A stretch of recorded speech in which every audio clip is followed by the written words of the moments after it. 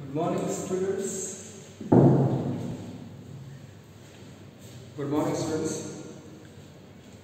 હવે બારમા પાઠ આપણે મોટેભાગના ખનિજ પોષક તત્વની વાતોને પૂર્ણ એની અંદર ગુરુ પોષક તત્વ હતા જે થોડા વધારે પ્રમાણમાં જ હતા લઘુ પોષક તત્વ કે જે દસ મળ કરતાં ઓછા પ્રમાણમાં અને પેલા વધારે પ્રમાણમાં. એના માપદંડોની ચર્ચા કરી. વસ્તુ શીખ્યા એની અંદર ચોક્કસ પ્રકારના પોષક તત્વ એટલે કે ગુરુ પોષક તત્વ અને લઘુ પોષક તત્વ બંનેની પ્રાપ્તિ જોઈ કે કયા સ્વરૂપે ભૂમિમાંથી શોષાય છે અને બીજી એક સાથે વસ્તુ નિહાળી કે એમની અગત્યતા શું. વનસ્પતિમાં એવું તે કયું કાર્ય કરે કે જેને કારણે વનસ્પતિમાં આટલું ઇમ્પોર્ટન્સ ઊભું થાય? અને ઇનડાયરેક્ટ ઓર ડાયરેક્ટ મેં તમને વાત કીધી છે તે પ્રમાણે આપણા દેહ માટે એ વસ્તુ ખૂબ જરૂરી છે અને વનસ્પતિ જેવા ઘટકોનો ઉપયોગ કરીને જ આપણે ચલાવીએ છીએ. સો આ બધી વાતો તમે પરિચયમાં છો. નાવ હું હવે જે જઈએ છીએ તેની અંદર કે સર જરૂરી થોડું છે કે બધી જ જગ્યાએ બધી જ જમીનમાં બધા પોષક તત્વો મળી જાય. નથી એવા પોષક તત્વો. તો જે પ્રમાણે જળ સંવર્ધન પદ્ધતિ દ્વારા સ્ટડી થયો, ત્યારે એ બધી વસ્તુની ખબર પડી કે ભાઈ આ ખનિજ પોષક તત્વ આ ચોક્કસ લક્ષણને અવરોધ છે ઇન શોર્ટ વનસ્પતિને વિકાસના ક્રમમાં ચોક્કસ પ્રકારના લક્ષણોમાં ઉણપ આવશે. અથવા લક્ષણો અવરોધ હશે હવે આ જબરદસ્ત પરિસ્થિતિની વાત કરીએ તો એની અંદર અમુક ફિક્સ કેટેગરી જેવી તમને જોવાની મળશે પ્લાન્ટની અંદર કે આ થાય થાય થાય ને થાય. અને એ થવા પાછળ ચોક્કસ ખરી પોષક તત્વની ઉણપ, એટલે કે એનું ઓછું પ્રમાણ અથવા એની ગેરહાજરી જવાબદાર છે. તો એ જે ચાર પોઈન્ટ છે તે પહેલા પાંચ પોઈન્ટ છે નિહાળીએ અને પછી કયા ખરી પોષક તત્વને કારણે થાય છે એના ઉપર જઈએ. એટલે તમને મળી જશે યાદ રાખવાનું સહેલું છે, પણ અંદર રહેલા ખનિજ પોષક તત્વને યાદ કરવામાં તમને ગૂંચવાડો ઊભો થશે. હું અર્થ સમજાવીશ અને ખનિજ પોષક તત્વની ડિટેલ આપીશ અને એની અંદર સ્ટાર્ટ કરું છું. સૌથી પહેલું આઈડિયા અને એ છે chlorosis understand that the second one it is necrosis third one વનસ્પતિની કુંઠિત વૃદ્ધિ અને ફોર્થ પુષ્પ સર્જનમાં વિલંબ. અને ફિફ્થ માળિયા. તો ફિફ્થ જે છે એ કોષ વિભાજનમાં અવરોધ. ઓકે સમજાવી? ક્લોરોસિસ તરત લાઈટ દ્રવ્ય જોઈએ ક્લોરોફિલ સર રંજક દ્રવ્ય છે. તો તે જ વસ્તુ કીધી છે કે અમુક ખનિજ પોષક તત્વ એ ક્લોરોફિલના નિર્માણને ન્યાય આપે છે. બીકોઝ ઓફ ક્લોરોફિલ આપણને પર્ણ જેવો સમય વીતશે બોલીએ છીએ કે પાનખર આવી ગઈ પર્ણ પીળા થઈ ગયા અને ખરી ગયા, એ પોતે મધ્ય પટલથી છૂટા પડી જશે, જે જગ્યા ઉપર જોડાણ હશે ત્યાંથી પોતાની જે પકડ છે એને ગુમાવી દેશે. અને આમ જ્યારે લાગ્યા હોય, પવન આવે તો એ ના પડે પણ જે વખતે આ ઘટના ઘટશે, અથવા આ પરિસ્થિતિ હું ઓરિજિનલ જણાવું છું કે આવી રીતનું ફિટિંગ હોય છે. પણ જો ખનિજ પોષક તત્વની ઉણપ હશે, તો એ આપણે જાણીએ છીએ કે પાનખરની અંદર પર્ણ રેગ્યુલર એની ક્રિયા વિધિ છે તે પ્રમાણે. પણ તમારો હેલ્ધી પ્લાન્ટમાં જો પર્ણો પીડા થયા, તો સમજવું કે કંઈક પ્રોબ્લેમ છે.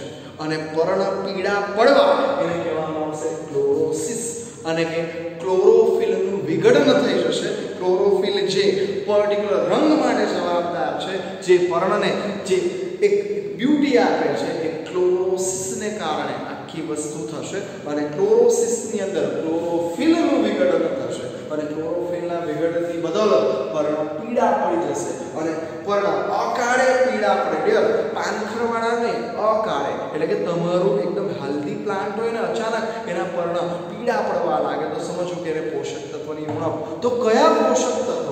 તો ક્લોરોસિસની ક્લોરોસિસ અંદર જોઈશું તો ક્લોરોફિલ, જેવું તમને કહી ગયો ક્લોરોફિલનું શું થઈ જશે વિઘટન અથવા એનું નિર્માણમાં ઘટાડો થઈ જશે. અને કારણે પણ લીલા રેડાની જગ્યાએ કેવા કરી જશે પીળા થઈ જશે.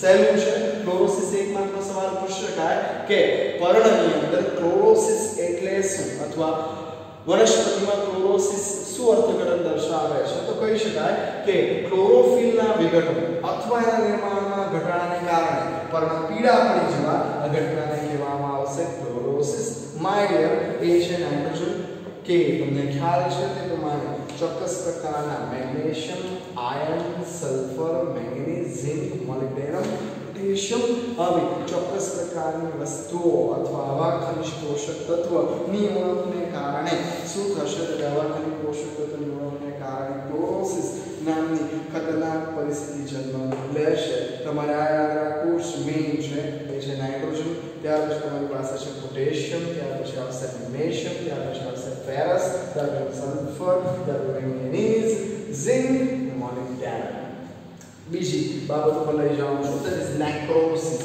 શું કહે છે નેક્રોસિસમાં તો કે પર્ણની પેશી મૃત્યુ પામે હવે એ લોકોએ તો લખીને ફ્રી કરી દીધું પર્ણની પેશી મૃત્યુ પામે. પણ હાઉ વી નો ધેટ કે શું કહી શકાય પર્ણની પેશી માટે? તો કે તમારી પાસે આ જગ્યાની ડિટેલિંગ હોવી જોઈએ, અને ખાલી અહીંયા બતાવી દઉં થોડું, કે તમે જ્યારે અગાઉના લેસનમાં શીખ્યા, છઠ્ઠા લેસનની અંદર, ત્યારે પર્ણની રચના આવતી હતી માઇન્ડ અને પર્ણની રચનામાં ઉપરી અધિસ્તર ઓકે, અને આ અધ અધિસ્તર સમજ માટે ચાલે છે. અને એ સિવાય બાકીના ઉપરી અધિસ્તર અને અધઅધિસ્તર સિવાય વચ્ચેના ભાગોની અંદર કોષોનું આયોજન હતું. અને આ કોષોને આપણે કહેતા હતા મધ્યપર્ણ પેશી કોષો. અને કહેતા હતા ઉપરી અધિસ્તર અને આ જો તમને યાદ હશે તો ઓટોમેટિક કોન્સેપ્ટ આવી જાય કે નેક્રોસિસમાં શું થશે? તો કે પર્ણની પેશી, હવે પ્રશ્ન એ આવે કે સર પર્ણની પેશી તો કે છઠ્ઠા પાઠમાં વસ્તુનો ઉલ્લેખ છે. મૃદક પેશી, સ્થૂળ કોણક પેશી, અંદર જશે જળવાક અણવાક વગેરે વગેરે. તો આ બધી પેશીઓ અકાળે મૃત્યુ પામવા માંડશે એ મિનિંગ તમને મળવું જોઈએ કે નેક્રોસિસ શું કહેવાય? જે ક્લોરોસિસ માટે કીધું નેક્રોસિસ શું કહેવાય? તો મુખ્યત્વે પર્ણની પેશીઓ મૃત્યુ પામશે. અને આ પર્ણની પેશીઓમાં, તમે જાણો છો તે આ પોષક તત્વને નુકસાન પહોંચાડશે તમને ખ્યાલ જ છે, આ ઉપરી અધિસર આ અધ અધિસર આ લંબોત્તક હરિતકણોત્તક પેશીકોષ, આ શિખિલોત્તક હરિતકણોત્તક પેશીકોષ ઇન બિટવીન તમને ખબર છે જલવાગ અને કોણ આવેલા હોય. તો એ વિશિષ્ટ પ્રકારની મધ્યપર્ણ પેશી જે છે, પર્ણની અંદર આ બધી મોટી તકલીફો આવશે. અને એનું કારણ કેલ્શિયમ, મેગ્નેશિયમ છે ફરી પાછા આવવા લાગશે. એટલે અમુક વસ્તુ તમારે કોમન કાઢવી પડશે કે ભાઈ મેગ્નેશિયમ કઈ કઈ ઉણપને આમંત્રણ આપે છે? કઈ કઈ ઉણપને નિમંત્રણ આપે છે? તો ફરી પાછું કેલ્શિયમ મેગ્નેશિયમ કોપર તમારી પાસે કે તમે જો ફરી પાછો આવે છે કે પોટેશિયમ યાદ રાખવાનું, વધી જાય છે. એટલે તમારી પાસે બે એવા તત્વો થયા કે જે બે વાર રિપીટ થાય. ક્લિયર સો તમારે આ બધી વસ્તુ સોર્ટ આઉટ કરીને બનાવવી પડશે. આ તો યાદ રહી જશે, પણ કયા ખરી પોષક કેટલી વાર રિપીટ થાય છે જેથી એ લોકો કેટલી અસરનું નિમંત્રણ આપે એના તરફ આપણે જઈ શકીએ. ક્લિયર ચાલો. હવે આમાં હું કંઈક જોડીશ તમે ચલો લખે છે કે વનસ્પતિની કુંઠિત વૃદ્ધિ. પ્રશ્ન એ છે કે વૃદ્ધિ કુંઠિત ક્યારે તો કે સર કોષ વિભાજન ધીમું હોય તો? વનસ્પતિના કોષો ઝડપથી વૃદ્ધિ ન પામતા હોય તો એનું કોષ વિભાજન ધીમું થઈ ગયું હોય, કોષ ડિવિઝન કોષ બનતા જ ન હોય સેલિબ્રેશન અવરોધ થઈ ગયો હોય તો કે ઓટોમેટિકલી આ વસ્તુને લાગુ પડી જશે. એટલે જો મેં તો સાથે એકચ્યુઅલી પાંચમો પોઈન્ટ તરીકે પહેલો બીજો ત્રીજો ચોથો અને પાંચમો પોઈન્ટ છે.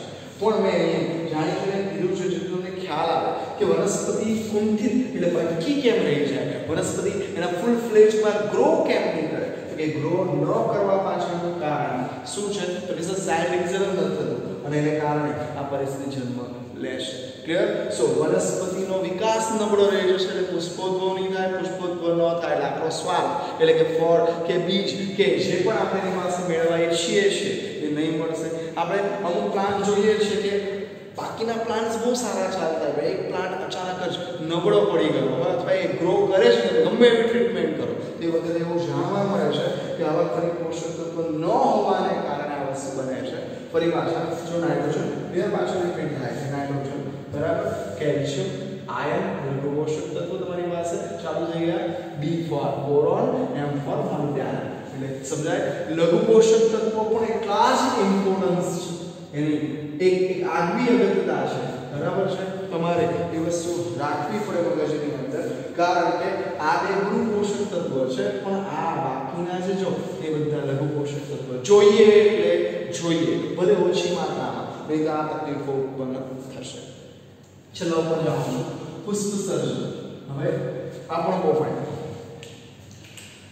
શિયાળાની સિઝન છે અને યુ એક્સપેક્ટેડ કે ભાઈ કેરીમાં આપણા એની સ્પેશિયાલિટી છે તો આપણે કહીએ કે ભાઈ કેરીની અંદર ડિસેમ્બર જાન્યુઆરીની તીવ્ર ઠંડીની અંદર મોર આવવો જોઈએ.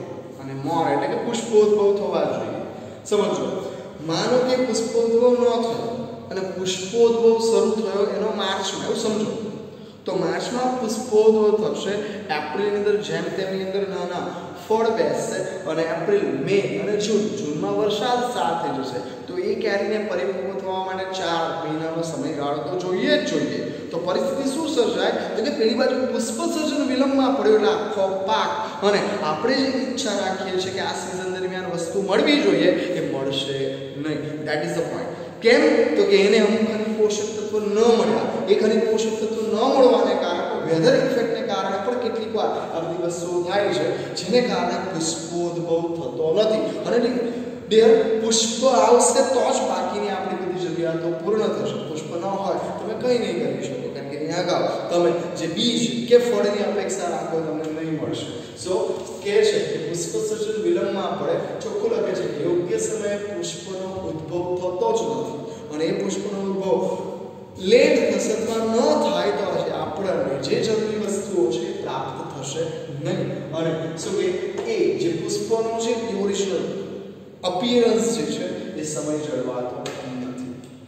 હા, બધી સારી બાબતોમાં ઉદાહરણો તો ઘણા બધા કે સમજો કે આમ પુષ્પ અમુક જે ડેકોરેટિવ પ્લાન્ટ છે, એ એવા ડેકોરેટિવ કે પુષ્પવાળા પ્લાન્ટ છે, એની અંદર પણ યોગ્ય સિઝન પ્રમાણે પુષ્પ આવવા જોઈએ, તો તેની ડિમાન્ડ અને ડિમાન્ડ સાથે પુષ્પ મળવા જોઈએ, તો એનો ભાવ અથવા તમને એની આર્થિક સદ્ધરતા મળે. સિઝન પતી જાય, પછી પુષ્પ ઉપર જાય, પુષ્પને કોઈ જ કામ નથી રહેતું, કોઈ ઉપયોગમાં નથી રહેતું. તો આ બધી વસ્તુઓમાં તમારે જાળવણી કરવી પડશે, તમારી જમીનની અંદર તો એ તત્વ ફૂલફિલ કરો. એટલે ઓટોમેટિકલી પુષ્પની જે જાળવણી છે. એ થવા લાગશે અને પુષ્પોદ્ભવ થવા લાગશે. ક્લિયર સો યોગ્ય સમય પુષ્પની જરૂરિયાત છે. અને આપણને કીધું છે કે કોષ વિભાજન અવરોધાશે કોષમાં ચાલતી આપણે સમવિભાજનની પ્રક્રિયા અટકી જશે. એકમાં આપણા કરતા, એટલે કે પ્રાણી સમુદાય કરતા, આમ જોવા જઈએ તો વનસ્પતિ કોષ વિભાજન બહુ ફાસ્ટ છે. અને એ ફાસ્ટ પાછળ તમે જો એ સંતુલનની પ્રક્રિયા જો અટકી જશે, તો કેટલી મોટી પરિસ્થિતિ સર્જાય? મુસીબત સર્જાય એવું કહીએ તો ચાલે. સો આ તમારા જે લેસન અંદરની જે બાબતો હતી, એ આ રીતે કે વિશિષ્ટત આપણે જોઈએ છીએ તે પ્રમાણે કે આવી ચોક્કસ પ્રકારના આવશ્યક તત્વની ઉણપને કારણે શું પરિસ્થિતિ જોવાની મળશે અને ઉણપના લક્ષણોને તમે લીધા ક્લોરોસિસ નેક્રોસિસ વૃદ્ધિ વૃદ્ધિ પુષ્પ સર્જન વિલંબમાં અને કોષ વિભાજન અવરોધના છે એવું આપણે કહી શકીએ તો આટલી બાબતો જે છે તેની અંદર થશે અને આ જે પૂર્ણ થાય ત્યાર પછી આપણી પાસે હવે જોવા જેવી વસ્તુ છે કે આ પોઈન્ટ એ ચોક્કસ પ્રકારની વનસ્પતિ અંદર ખનિજ પોષક તત્વની ઉણપના લક્ષણ છે અને એ ઉણપના લક્ષણો પછી આપણે સોરી આપણે એના પછી ચોક્કસ પ્રકારે ખનિજ પોષક તત્વ આપણે ગમે આપી દઈએ, તો વનસ્પતિને શું તકલીફ થશે?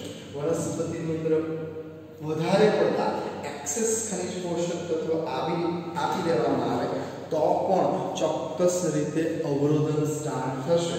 એટલે કે વધુ પડતા પોષક તત્વને કારણે પણ વિષારી અસર ઉત્પન્ન થશે.